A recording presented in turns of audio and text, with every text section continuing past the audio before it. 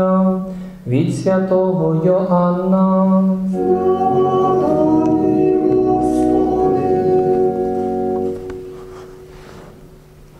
Відбували в Єрусалимі обновлення. Зима була. Ісус проходжувався в храмі Соломоновим присін, присінком. Обступили його юдеї і йому кажуть, докіль же нас отак триматимеш в ваганні. Коли Христос ти, то відверто скажи нам. Ісус же їм, казав я вам, та ви не віруєте. Дії, що чиню їх в ім'я Отця мого, вони свідчать за мене. Та ви не віруєте, бо не з моїх ви овець. Вівці мої голосу мого слухаються, і я їх знаю. Вони за мною слідують, і даю я їм життя вічне, і не пропадуть вони повіки, і ніхто не вирве їх з рук моїх. Отець мій, який мені їх дав, більший від усіх, і ніхто не вирве їх з рук Отця мого, я і Отець одно. Це є слово Господнє.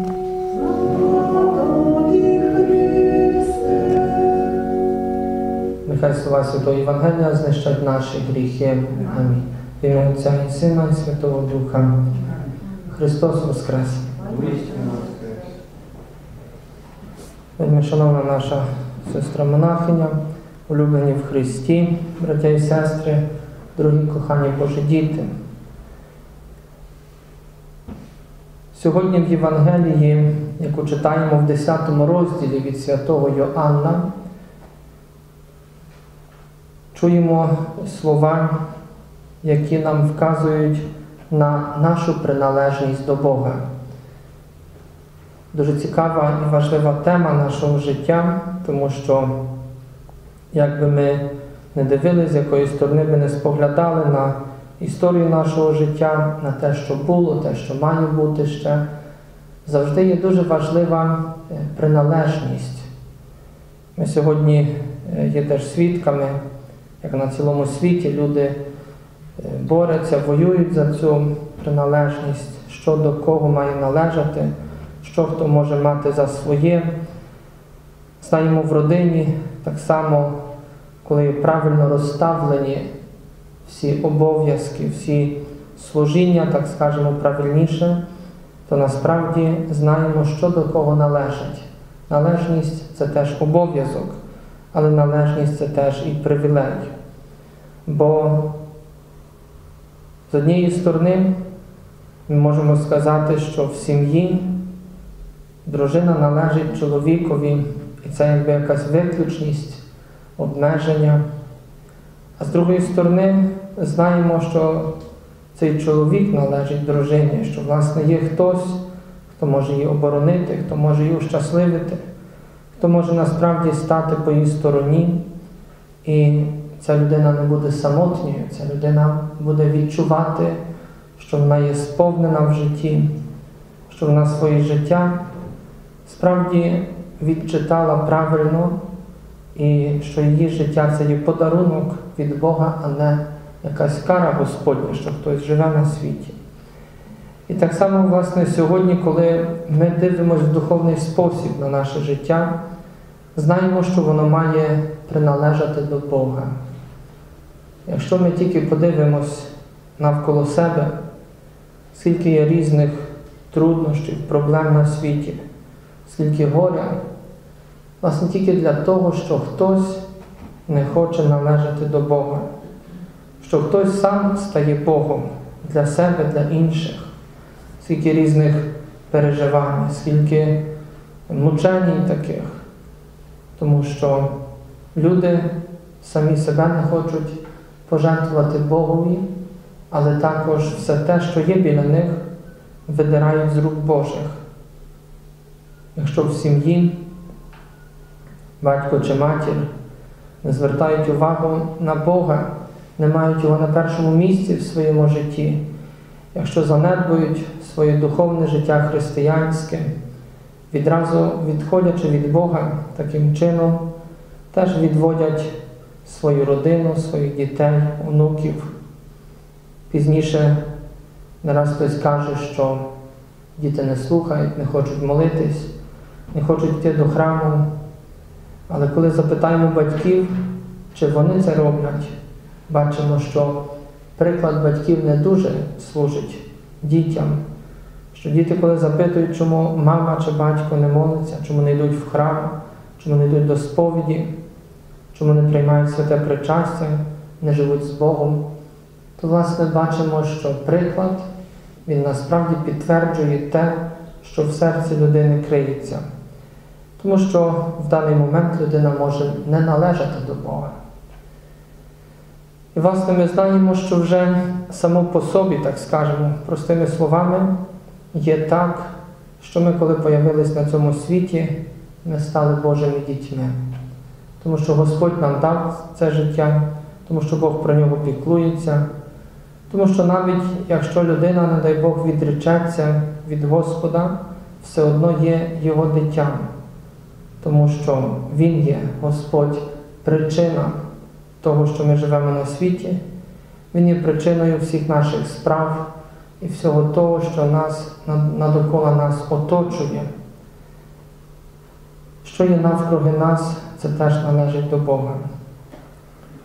І, власне, чим більше людей, чим більше справ, чим більше речей належить до Господа, тим святіша є земля, тим святіша є людина, тим святіший є час на світі, який ми називаємо миром. Власне, того Ісус сьогодні говорить: дивіться на мої вчинки. Юдеї запитували Його, чи ти справді Христос, якого Бог має прислати нам, чому нас тримаєш в таких сумнівах, ваганнях? І каже Ісус свою відповідь на прикладі пастуха і отари. Вівці слухають голос, пастуха йдуть за ним. Вони знають, що вони йому належать. Вони знають, що хтось інший може їх скривдити. Вони навіть собі не думають, щоб зробити якусь альтернативу в житті, а може спробувати по-другому. Для них це є чимось нормальним, що їхній пастир береже їх, годує їх, піклується про них. Власне, так само життя людини, коли належить до Бога, то насправді це піклування Боже ми бачимо в своєму житті. І тому Ісус на цьому прикладі говорить, я теж належу до Отця. В кінці Євангелії ми читаємо слова Я і Отець одно. І ніхто не вирве нікого і нічого з рук Отця мого, тому що Він мені все передав, і я йому все маю повернути. Якщо такий щасливий кінець життя людини з Богом, то сьогодні просімо Господа, щоб нам ніколи не забракло цієї відваги, але також і прагнення належати до Бога, бути Богові вірним. І цю вірність нашу виконувати кожної хвилини, бо дуже часто ми чуємо, як люди говорять, що найважливіше бути вірним в чомусь до смерті. Або ще хтось говорить, можна жити по-різному, але дуже важливо, щоб встигнути в кінці життя Бога перепросити, покаятись, посповідатись. Принаймні в кінці, коли загрожує нам смерть, чи якась катастрофа, щоб ми ще встигли крикнути Боже, рятуй мене. Але якщо так подумаємо в рамах любові, в вимірах любові, то не можемо полягати тільки на таких категоріях, тому що, може, візьмемо собі приклад такий простий, звичайний людський, що, наприклад, в сім'ї є багато дітей, і ці діти якось з часом, не маючи в серці такої великої любові, правдивої, відійшли від батьків. І батько говорить, що хто встигне мені наприкінці життя сказати, що я тебе люблю, переписую хату на цьому. І це не є любов, це є зловлення якогось моменту, це є хитрість, це є просто, можна назвати, якесь шпекулянство, якийсь базар з Богом, якийсь бізнес, бартер.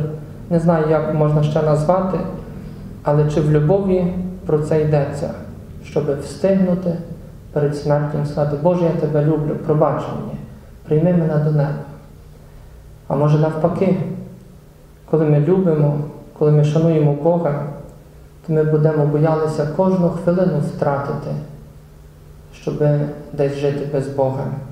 Ми будемо намагатися кожну хвилину присвятити Богові, кожну хвилину мати Бога в серці, коли йдемо до праці, коли щось робимо в сім'ї, коли прибираємо дім, коли їдемо автобусом, коли розмовляємо з людьми. Ми будемо намагалися постійно мати Бога в серці і не чекати на кінець життя. Це так, якби наречені собі сказали один до другого, що я тебе дуже люблю, дуже кохаю, ти є найважніший в моєму житті, але я цю любов докажу, коли перед самою смертю візьму з тобою шлюб, коли піду в ЗАГС, розпишусь, то якщо я встигну це зробити перед смертю, це буде мій доказ, що я тебе люблю. Чомусь люди женяться від початку, як тільки покохають себе, хочуть якнайдовше з собою прожити, то хочуть, власне, якнайскоріше цей шлюб взяти, тому що кожному на цьому світі Бог виміряв час життя. І ми знаємо, що прийде такий момент, коли потрібно буде перейти з землі до вічності. І він щоденно зменшується на цьому світі. А якщо зменшується, то ми хочемо якнайдовше прожити разом, наприклад, в сім'ї, якнайдовше кохати себе, якнайдовше тішитись собою, що ми є разом, що ми є одна родина, і тому ніхто не чекає, що аж поки я буду вмирати, тоді в останній момент я скажу, тебе люблю, ходи швидко розпишемо, зробимо свадьбу і на другий день можемо вмирати. Це є доказ любові. Напевно, ніхто би не погодився на таку любов. І тому теж, коли Господь сьогодні нас вчить, що Він з Отцем є одно, що Він хоче вже сьогодні, щоб ми зрозуміли Його турботу про нас, що Він на прикладі цієї отари, овечок і пастуха вчить нас, наскільки ця приналежність є дуже важлива. Ми не будемо чекати, що як буду старий, то піду до костьола, як буду старий, то буду сповідався, як буду стара, то піду до причастя. Але, власне, тепер, коли ще ми живемо на світі, коли ще сподіваємось багато років, що Бог нам подарує, власне, сьогодні хочемо відразу жити з Богом, сьогодні хочемо мати цю єдність з Ним, тому що приналежність до Бога це не є обов'язок, а це є привілей. Так ще раз, як на прикладі сім'ї, скажемо, що чоловік належить дружині, дружина належить чоловікові, це не є обов'язок, а це є привілей, що хтось може сказати, це моя дружина, це мій чоловік. Діти можуть сказати, це наш батько, це наша мама. І ця приналежність є великим щастям, є великою любов'ю. І якщо ми будемо так дивитись на церкву, на таїнства, на сповідь, на причастя, то ми не будемо рахувати, що це є обов'язок йти в неділю до костьола, тільки це є радість, це є можливість. Це так само, як є якась річ в магазині переоцінена, наприклад, що можна купити за дешевше, то людина знає, що це можливість, це момент. Мене ніхто не примушує. Це навпаки, я стараюся купити якнайшвидше, бо прийде хтось другий і відкупить це. І це є можливість. І такою можливістю для нас є сповідь, причастя, недільна Божа служба, молитва вранці і вечором і багато інших наших, як ми називали, обов'язків стаються для нас привілеєм, можливістю. Цей варіант, через який Бог якби навпрошки йде до нашого життя, а будучи в нашому серці, провадить нас до вічності. Тому просімо Бога про таке сприйняття Його в нашому житті, і щоб Господь, ведучи нас дорогою життя, на цьому світі міг нас з радістю зустріти і впровадити до свого царства в небі. Амен.